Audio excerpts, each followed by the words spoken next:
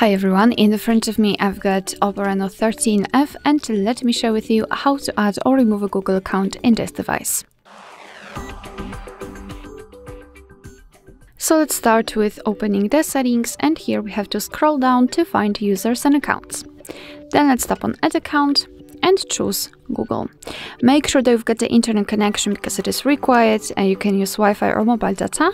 And here in this step you can either create a new account if you do not have your own yet or simply type your email or phone. So let me do it. Alright, and tap on next. Right here we have to enter the password, so let me do this out of the screen. Alright, and tap on next. So here we have to uh, decide who will be using this device, so just mark the option uh, and then tap on next. Uh, Google Terms of Service and Privacy Policy, you can simply tap on them to learn more and tap on I agree after reading. Here we've got the shortcut of backup and storage info, so just tap on accept.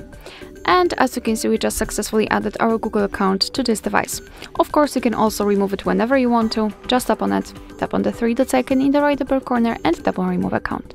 Tap on remove account again, and as you can see, it will immediately disappear. Alright, so that will be all. Thank you so much for watching. Please hit the subscribe button and leave the thumbs up.